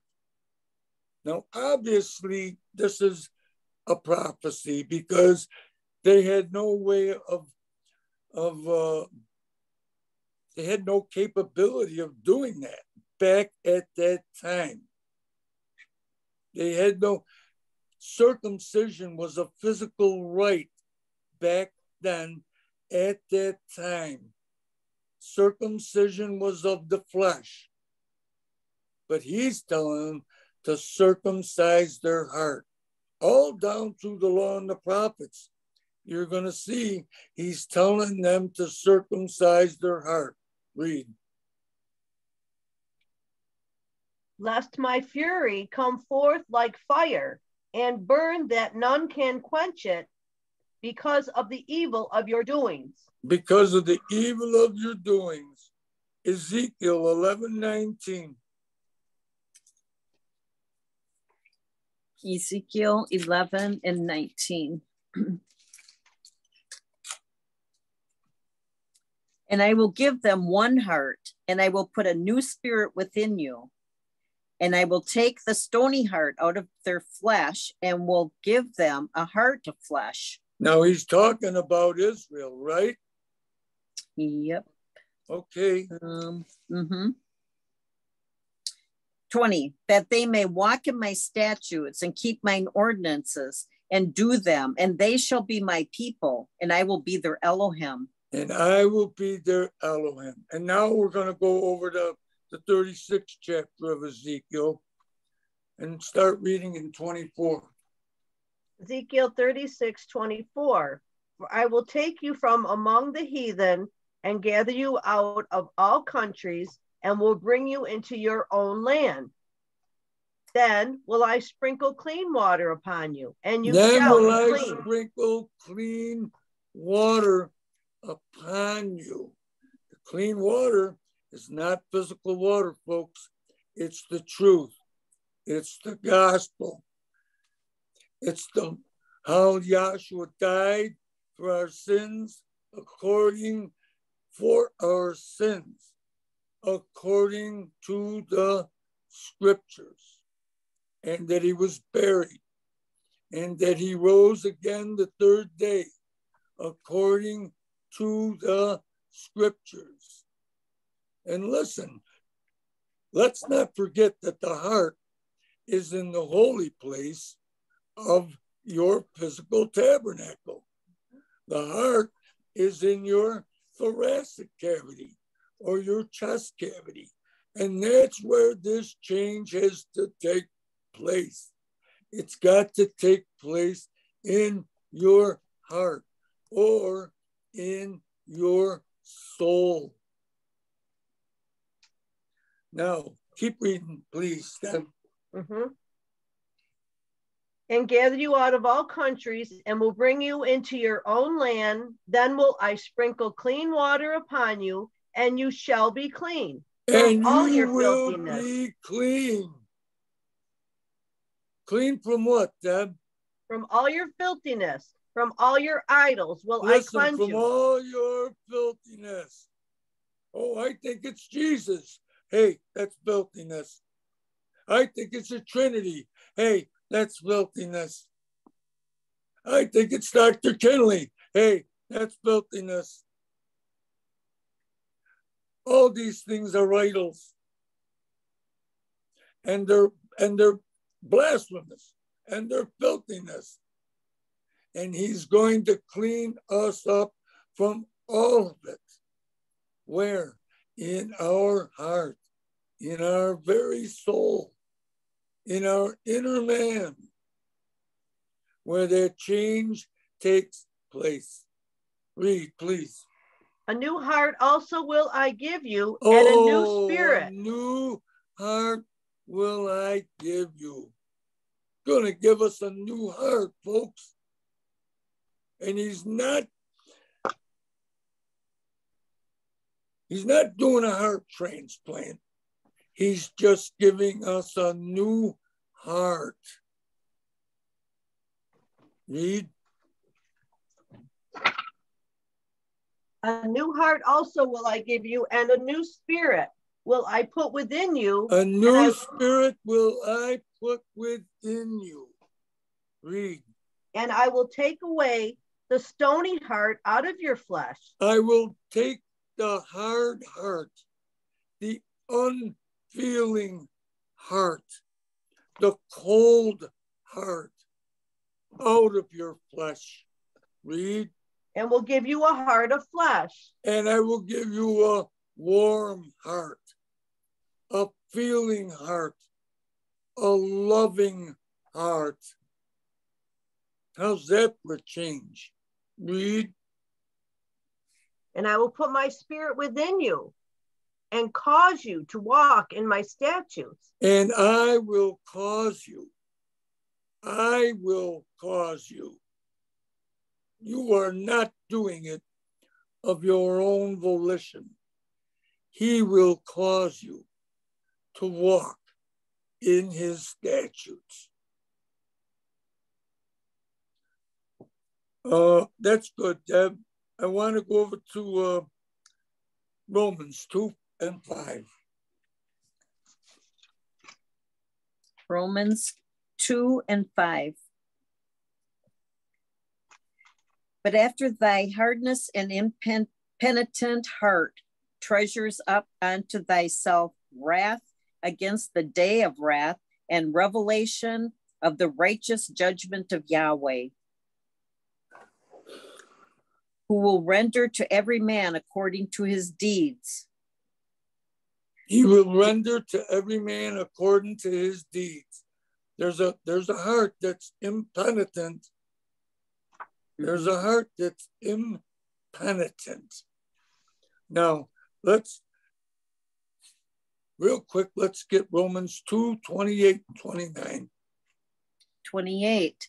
For he is not a Jew, which is one outwardly, neither is that circumcision, which is outward in the flesh. See that circumcision is no longer outward in the flesh because we're talking now after Pentecost. This is taking place after Pentecost.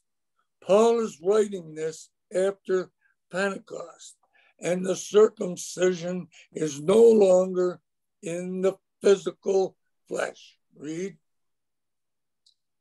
But he is a Jew, which is one inwardly. He's a Jew who is one inwardly. Read.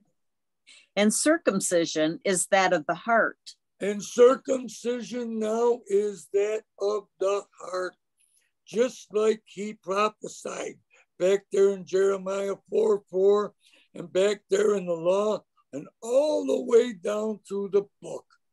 Oh, that they had such a heart in them. Thank you. Go ahead, read. In the spirit and not in the letter. In the spirit and not in the letter. It's not written in pen and ink. It's not in tables of stone. It's written in your heart. Oh, grab for me Hebrews 4:12. Hebrews 4 and 12. For the word of Yahweh is quick and powerful and sharper than any two edged sword, piercing even to the dividing asunder of soul and spirit, and of the joints and marrow, and as a discerner of the thoughts and intents of the heart. And the thoughts and intents of the heart. He can read your heart. He knows the intents of your heart. And I know Bruce always likes to go over there to, uh, uh, I think it's Jeremiah 17 9, where it talks about the heart is wicked above all things, or something to that effect. I'm paraphrasing. Deceitful. Deceitful above all things. And so he had to give us a new heart. He had to change our heart. Oh, goodness. We're going to have to get uh, uh, Psalms 19 and 7. Psalms 19 and 7. The law of Yahweh is perfect. Now, the law of Yahweh is perfect, and the law of Yahweh is Yahshua. The law of Yahweh is Yahshua. And he is perfect. Mm-hmm. We don't have time to get it down through the book, but his work is perfect. And he is perfect. Read. Converting the soul. Now that's how your heart gets changed. It's by him. It's by Yahshua. It's by the Holy Spirit. And only O N L Y by the Holy Spirit in you can that heart be changed. It's the only way. You aren't changing your own heart you ain't going to do it. Get Hebrews 10. Start reading in 22. Hebrews 10 and 22. Let us draw near with a true heart and full assurance of faith. Oh, pick it up in 21, Deb. And having a high priest over the house of Yahweh, let us draw near with a true heart and full assurance of faith let us draw near with a true heart and assurance of faith. Let us draw near. Read. Having our hearts sprinkled from an evil conscience. Let having our hearts sprinkled from an evil conscience. You see, our hearts no longer have that evil conscience. Our hearts no longer have that condemnation. Our hearts are sprinkled from that evil. They're cleansed. He has he has cleansed our hearts. Read. And our bodies washed with pure water. And our bodies washed with pure water. Now go back to the scripture reading and uh, read that seventh verse again. Not seven, um, 12. Second Corinthians 5 and 12. For we commend not ourselves again unto you. But no, we're not commending ourselves, Gail, right? Right. Read. We don't. But for we commend not ourselves again unto you, but give you occasion to glory on our behalf, that you might have somewhat to answer them which glory in appearance and not in heart. See, we want to glory in our heart. And only through the Holy Spirit in our heart can we glory. And we give the glory to Yahshua. We give all the glory to Yahweh. All glory belongs to Yahweh and Yahshua, his son. Thank you very much for this time. Thank you, Dr. Trivison. We'd like to thank everybody who joined us on our Zoom class today. And we'd also like to thank those who have viewed us on YouTube. We hold our Zoom class every Saturday from 4 to 6 p.m. Pacific time. At this time, I'd like to ask the class to stay muted until the recording has ended. We'll now be dismissed by the doxology, which is taken from the last two verses of the book of Jude. Now unto him that is able to keep you from falling and to present you faultless before the presence of his glory with exceeding joy. To the only wise Elohim, our Savior, through Yahshua the Messiah, our sovereign, belong glory and majesty, dominion and power, both before all time and now and ever. Let us all say, Hallelujah. Hallelujah.